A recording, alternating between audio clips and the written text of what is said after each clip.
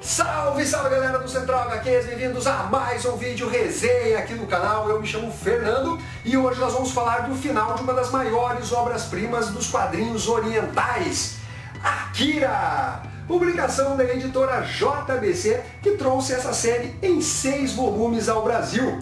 Eu já resenhei todas as edições anteriores, fiz uma resenha específica do volume 1, vou deixar aqui nos cards e eu recomendo vocês inclusive assistirem essa resenha antes de terminar essa daqui, porque eu falo um pouquinho sobre a produção desse material aqui no Brasil, a editora JBC correndo atrás dos direitos, só pontuando uma coisinha ou outra. Akira não estava sendo negociada fora do Japão, então a obra ela estava parada, sem republicação em qualquer lugar do mundo, até que chegou na França. Essa publicação ela espelha exatamente a publicação francesa. Tem uma qualidade gráfica impecável, um material de luxo maior do que os mangás tradicionais então você vai saber mais detalhes sobre tudo isso, né? inclusive da publicação brasileira que foi lançada pela editora Globo, colorida e tal, no volume 1. Então não quero ficar retomando várias dessas questões. Esse material aqui, ele conta com sobrecapa, olha só, capa cartão,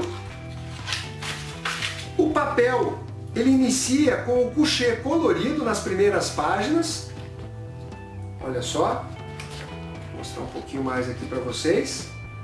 Depois é o papel Look Screen preto e branco com 440 páginas ao preço de R$ 76,90. Mangá de Katsuhiro Otomo, uma das publicações japonesas mais influentes no ocidente. Sim, meus amigos, Akira simplesmente explodiu cabeças com o seu anime que chegou lá nos Estados Unidos e influenciou diretores, músicos, artistas. Tanto o filme como o mangá, eles te, trazem inovações técnicas, principalmente o anime, né? Foi algo muito chocante para a época, né? Material de ficção científica, é, com ação frenética, super dinâmico. O mangá não fica atrás em termos de influência, mas o maior realmente foi do anime. O Frank Miller, ele já tinha né, acesso a publicações de mangás e para ele, Lobo Solitário foi o que abriu a sua para os quadrinhos japoneses, tanto que ele escreveu Ronin e entre outros materiais que acabaram influenciando o Frank Miller. A publicação de Akira lá nos Estados Unidos, ela teve um efeito muito maior. Esse exemplo que eu estou dando é pessoal do Frank Miller. Aqui atingiu o público americano e também europeu, além de outros lugares do mundo. Como eu costumo fazer nesses vídeos que eu faço uma análise do, da edição final, obviamente eu vou ter que soltar alguns spoilers. Não pretendo fazer a revelação de toda a trama, de como tudo acaba, Porém, eu vou comentar alguns acontecimentos com maior detalhe, né, para poder discutir com vocês, até porque tem questões aqui que são ah, interpretativas. É, primeiro quero elogiar o trabalho da editora ah, JBC com essa introdução que apresenta a história resumida da edição 1 à edição 5. Então, como o mangá demorava para ser lançado de um volume para o outro, porque precisava das aprovações lá dos japoneses, que são bem criteriosos, né? Você ficava ali três, quatro meses, aí você também esperava baixar né, o preço da publicação, às vezes de um, de um volume para outro, você demorava cerca de seis meses para ler a edição e ficava né, um pouco nebulosa a história na sua cabeça. Então, esses textos introdutórios eh, ajudam o leitor a retomar a história. Bom, basicamente nós temos uma trama que se passa no futuro distópico após a Terceira Guerra Mundial, com o surgimento de Neo Tóquio. O Kaneda, que é o grande protagonista, ele que é o líder de um grupo de motoqueiros ao lado do seu fiel amigo, o fiel até um certo momento, o Tetsu, Uh, eles acabam ali apavorando um pouco a cidade, ele é um rebelde, e aí que começa o lance relacionado ao Akira, que é o personagem que dá o um nome a essa publicação.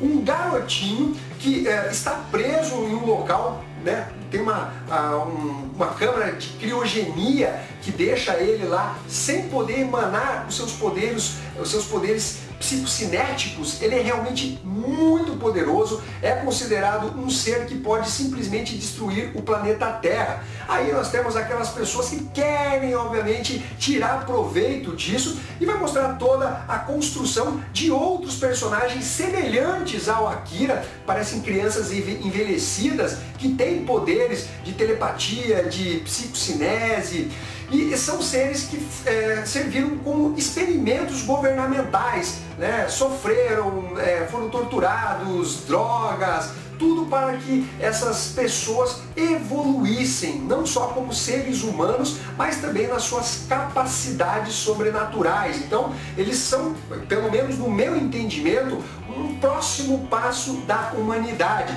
E aí nós temos as edições anteriores, estou fazendo só uma breve introdução, e chegamos nesse volume aqui, meus amigos, onde nós tivemos uma nova destruição de Neo Tóquio, todo mundo querendo pegar o Akira, porque ele basicamente é uma bomba relógio, está prestes a explodir.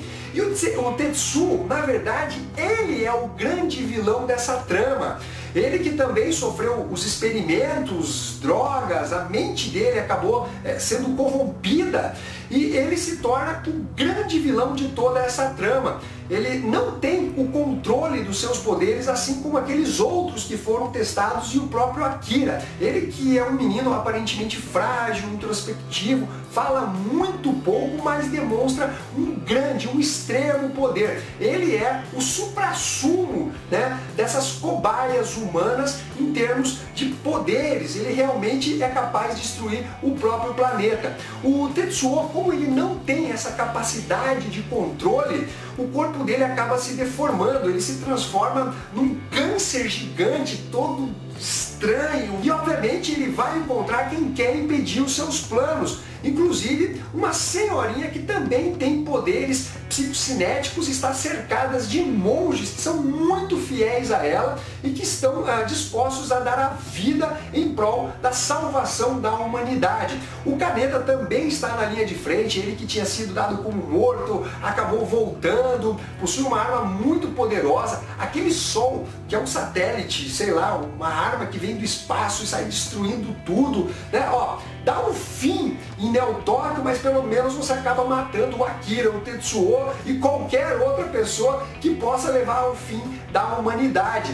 E a história ela é construída com um ritmo tão frenético, assim, é uma ação desenfreada, simplesmente sensacional. A arte do Katsuhiro Otomo é um show à parte, ele dá uma aula em quadrinhos, tanto no aspecto técnico como na condução da história em termos de emoção.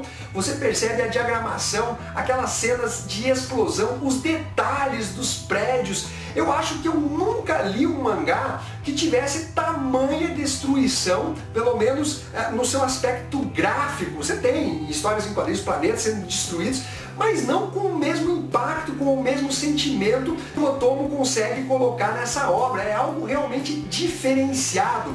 Além disso, esse mangá ele continua muito atual, ele é referência em termos de quadrinhos de ação, além do fato de ter previsto que as Olimpíadas de 2020 seriam exatamente lá no Japão. Galera, realmente nós temos aqui uma construção de história que é sensacional, o ritmo, toda a empolgação, a, o suspense né, do que vai acontecer com os protagonistas dessa trama são muito bem trabalhados pelo Otomo. Além disso, eu quero focar um pouquinho no final dessa edição, onde o Akira, que encontrou ali os seus irmãos de experimentos, cria uma esfera de energia imensa para combater o Tetsuo né, e absorve o, a energia, os poderes dele. E o Kaneda está no meio de tudo isso porque ele tinha sido absorvido pelo Tetsuo.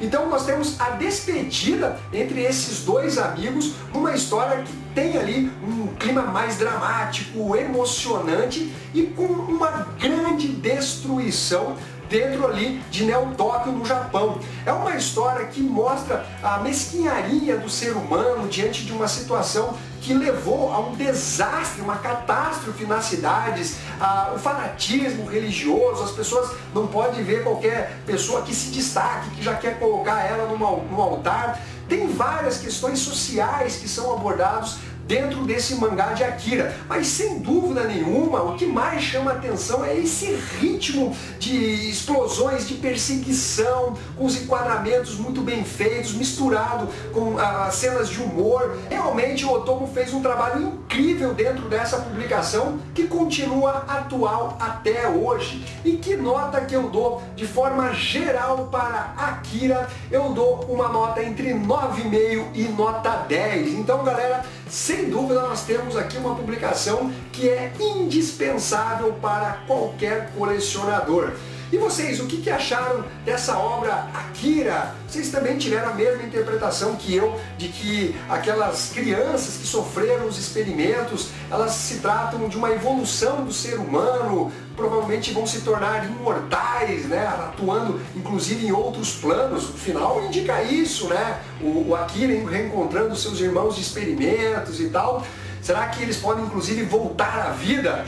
Galera, realmente uma publicação que vale cada centavo, ainda mais se você conseguir comprar em promoção. Então é isso daí, deixe o seu comentário, o seu like, se inscreva aqui no canal, um abraço para todos vocês e fui!